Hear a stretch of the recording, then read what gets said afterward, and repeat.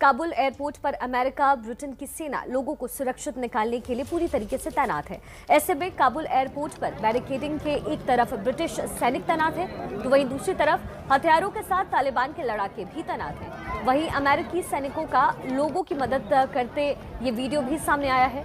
पानी पिलाते भी वीडियो सामने आया है। ये दो तस्वीरें आपके सामने।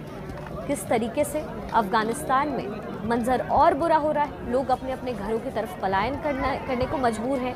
हर कोई अब वतन वापसी चाहता है। और इसी बीच काबुल एयरपोर्ट से ये दो तस्वीरें हम आपको दिखा रहे हैं। काबुल एयरपोर्ट पर अमेरिका, ब्रिटेन की सेना लोगों को सुरक्षित निकालने में जुटी है। काबुल एयरपोर्ट पर बैरिकेडिंग के एक तरफ़ ब्रिटिश सैनिक तैनात हैं तो वहीं दूसरी तरफ़ हथियारों के जखीरे के साथ तालिबानी।